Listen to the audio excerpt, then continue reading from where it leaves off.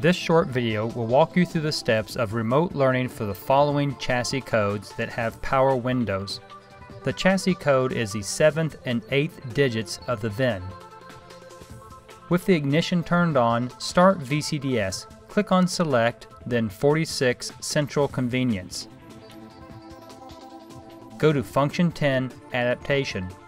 It will start out on channel 00. Click Read, then Save. Confirm you wish to save, click Yes. This will clear out any learned remote values. Now click the Up button to go to channel 01. The new value tells the Comfort Control module how many remotes you will program to the vehicle. I am working with two remotes in this example, so I type in a value of 2, then click on Test, Save, and then confirm I wish to save the values. Now click on the lock button on each remote.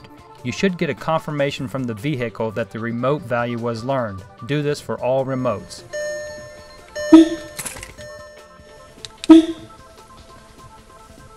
Once the remotes have been learned, click on Done, Go Back, and then Close Controller, Go Back to exit out of the Comfort Control module.